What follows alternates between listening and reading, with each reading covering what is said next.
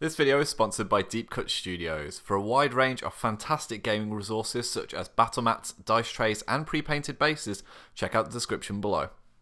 Hi guys and welcome back to TNG Productions. My name is Tom. We're back with another painting tutorial and this time we're going to be looking at the Disciples of Tzeentch because they've got a brand new battle tome out and I've got a few models knocking around. These are some Kairic Acolytes, better known as the Eyes of the Nine from the Nightvault set and as you can see we're going to be using the Citadel Contrast range of paints.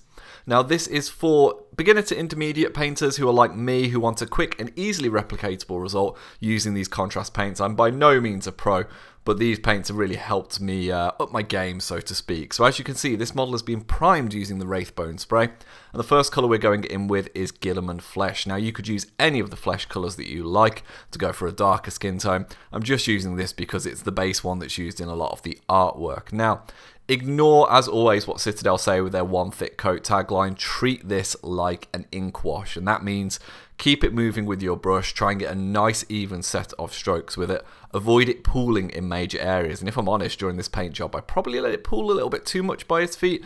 But just try and keep the paint moving, get a nice, even tone. Avoid any kind of puddles forming in areas that aren't the recesses. And as you can see, there's a lot of muscle on this character. Actually, he's gone to, he's been uh, getting those gains at the gym. But there's some other characters that have more armor and cloth. Anyway, speaking of armor, we're going to go to Retributor Gold now. Now, annoyingly not a contrast paint because there's no contrast metallics, but I promise we'll be using mainly contrast. Um, this Retributor Gold is perfect. The Tzeentch like their beautiful kind of shifting colours. And we're going to put a contrast paint over this to get that kind of bluey green shimmering tone. So Retributor Gold is a really nice shining colour. It's a base paint so it goes on nice and smoothly. You might want to do two coats, especially on the shields to avoid brush strokes. But you can easily just water down the paint ever so slightly either with a flow improver or with just plain water to get a nice even consistency. The two thin coats, as uh, the wonderful Duncan, formerly of GW, would say. Um, it's worth me saying as well, I'm using an Army Painter Regiment brush for the majority of this paint job. Every once in a while I dip down to what is the character size brush, I think it's the Kolinsky Masterclass one that comes free with the £30 set. Um, now when we've got the metal on, we're now going to have to put some ink on it. So I'm using Reikland Flesh Shade for this. Now, there is a gloss version available, I believe, that you can use. I don't own it, and um, realistically, in most of the tutorials I've seen, I don't see much of a difference. We're not needing the shine too much, because as I said, we're going to be using a contrast paint to go over the shield and some of the shoulder pads, which will add more colour. So I'm just making sure this goes into the recesses of all of the gold bits. You've got the headpiece, the shoulder pads, the hilts of the weapons, and you can see those studs around the hips, as well as the shield making sure we've got a nice even coverage. Now there's a lot of inks and a lot of contrast here, so making sure that you allow things to dry, it's easy to work on separate areas. So I'm going to be using Black Templar on any of the straps. This guy's got one on his torso. Some of the other models have belts that you might want to use this Black Templar on. Being very, very careful and using uh, a slightly smaller brush be as neat as I possibly can. With contrast, it's always better to start with your lighter tones, then work to your darker ones, but that does mean you have to be very careful and just kind of make sure you take nice even breaths, listen to some lovely Zen music, brace your hands on the table, and just be nice and careful with it. Now, it is important to let these paints dry fully before moving on. So as you can see now, I'm going to Lead Belcher, which is going to be the metallic of the sword blade. Um, if you wanted to use a contrast paint instead of lead belcher or another metallic, you could use, uh, I think it's Basilicanum Grey, which is the non-metallic metal grey colour. Um, by all means, I'm just using this because I'm going to ink it in a second using uh, some black ink. But to be honest, you could do the same thing with the Basilicanum. Making sure I get the buckle that goes across his chest. Some of the other characters have got uh, little adornments that attach to their shields. Now I'm going on to the Tabard now, and Tzeentch is uh, very well known for his shifting plans, you know, all going to plan. So I'm going to be using a combination of Ultramarines Blue and Magos, Magos, Magos, Purple. And what I'm going to do is, at the top of the tabards, I'm going to apply the ultramarine blue. And while it's still wet, I'm then going to clean my brush use Magos Purple, put that at the bottom of the tabard, and basically work them in. It's a really rudimentary attempt by me to do some wet blending, and you've probably seen it in other tutorials like the Sylvaneth one. Just moving the colours into each other, and you can shift with this as long as the paint's still wet. So the more Magos you pull up, the lighter it'll turn the transition, the more ultramarine you pull down, the darker it will, naturally. And this will just get us that kind of like, you know, as you can see here, shifting colour palette that's so typical with Tzeentch. Now that's going to take a while to dry because there's two contrast paints on it. So while we do that, I'm going to put some Nuln Oil ink on the blade just to darken that down. Again, if you've used the Basilicanum yourself, we've used another ink, you don't need to worry. I've put a little bit on the leather straps just to kind of darken them as well. To be honest, Black Templar is fantastic on its own. It's a preference thing here, and as you can see now, my gold has dried. So now let's go on to the really, really cool part. This is Talassar Blue. And Talassar Blue looks very, very blue in the pot. And when you apply it, though, if you apply it over this gold colour, it comes out in this kind of like greeny, jadey colour, which is just beautiful. Now, there are more traditional ways of painting the Tzeentch kind of shield colours in a lighter blue, but I really like this effect.